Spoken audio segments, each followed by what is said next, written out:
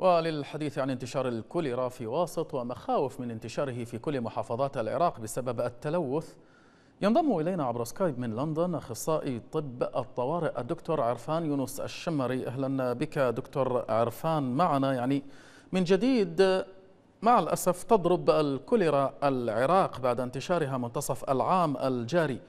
السؤال هنا لماذا هذه المرة ينتشر المرض في واسط على وجه التحديد؟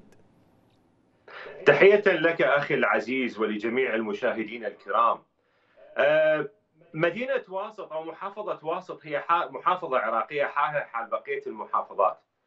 أه، الكوليرا موجودة بالعراق من عام 1966 يعني يعني هذا المرض هو أصلا موجود بالعراق سابقا. شهد العراق تفشي وبائي لهذا المرض بين فترة وفترة. خلال الفترة الواقعة من من من بداية السبعينيات إلى 2003 نعم. كنا نشوف كطالب كطالب طبية كنت عندما كنت في كلية الطب كنا نشوف ما كنا ما شفنا في في في الكلية حالات الكوليرا في في في في البلد نعم. وهذا معناه إنه كانت هنالك برامج متعددة للسيطرة على انتقال هذا المرض من شخص إلى آخر. المحافظات اللي كانت اللي هي المحافظات الوسطى والجنوبية واللي على حوض نهر الفرات هي كانت المحافظات اللي تتأثر بهذا المرض نعم. الآن الآن أصبحت المحافظات الشمالية أيضا أصيبت بالكوليرا مثل السليمانية آه، صارت به إصابات نعم. والآن في في محافظة آه، في محافظة آه، واسط منظمة الصحة العالمية من عام 2015 آه، رتبت برامج متعددة لمكافحة هذا المرض نعم. في في العراق. آه، كانت هذه الحالة حالة نادرة يعني في نعم. في يعني قبل 2003 لكن دكتور عرفان يعني نعم. كيف ينتشر مرض الكوليرا في العراق بعد مكافحته والقضاء عليه في فترة ما قبل الاحتلال كما تعلم؟ الكوليرا هي آه، عدوى حادة تسبب الإسهال بعد تناول الأطعمة وشرب المياه الملوثة. آه، حسب منظمة الصحة العالمية الكوليرا يعتبر مؤشرا على انعدام المساواة وانعدام التنمية الاجتماعية. نعم.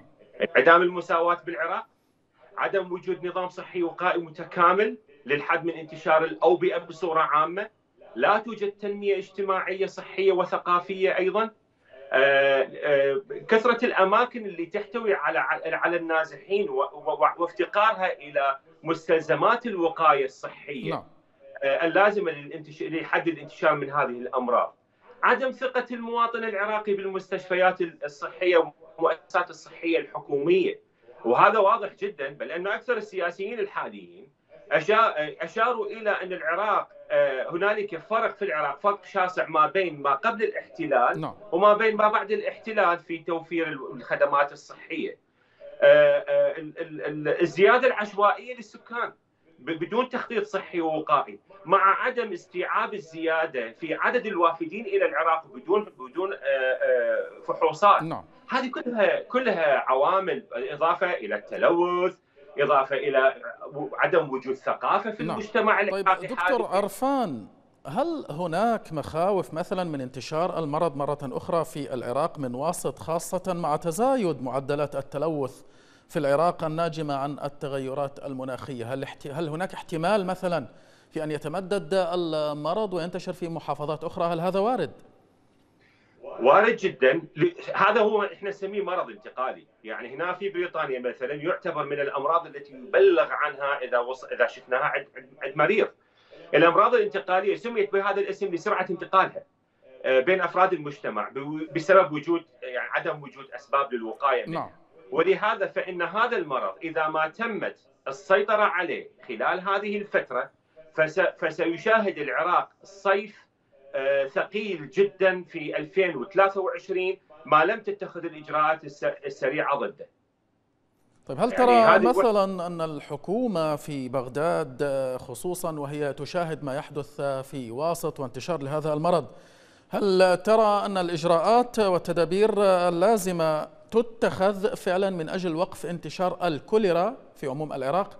هل هذا يحصل؟ المشكلة المشكلة إنه في إنه بعض مسؤولي الوزارة وزارة الصحة لا يفتقرون إلى الشفافية في تحديد الإصابات نعم. في تحديد عدد الإصابات يعني يصير عندك إصابة بالمرض الكوليرا ما يقول عليه كوليرا يقول عليه مثلا التهاب الأمعاء آه هذا أدى إلى انخفاض آه يعني انخفاض الحالات المسجله ولكن هنالك حالات كثيرة بسبب هذا المرض. المرض هذا آه الحكومة الآن مشغولة للأسف بأمور المحاصصة اللي جاء بها المحتل. آه ما يهمها نظام صحي وقائي ولا يهمها آه ثقافة مجتمعية لأن عند إصابة أي واحد من المسؤولين بإمكانه يطلع خارج العراق للدولة اللي اجى من عندها ويتعالج. الكادر الطبي والصحي اللي موجود بالعراق والمواطن العراقي هم من يدفع الثمن في في بسبب بسبب انتشار الاوبئه وبضمنها مرض الكوليرا. المنظومة الصحية بالعراق منهارة بعد 2003 لا توجد خطط صحية صحيحة لبناء مستشفيات حكومية مواكبة للتطور في العالم.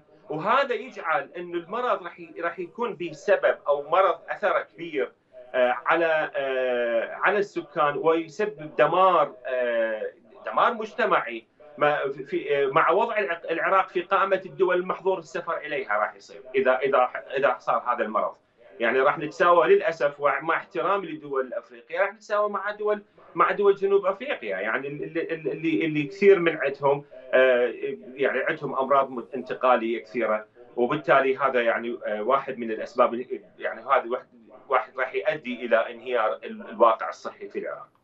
شكرا جزيلا لك دكتور عرفان يونس الشمري أخصائي طب الطوارئ كنت معنا عبر سكايب من لندن شكرا جزيلا لك.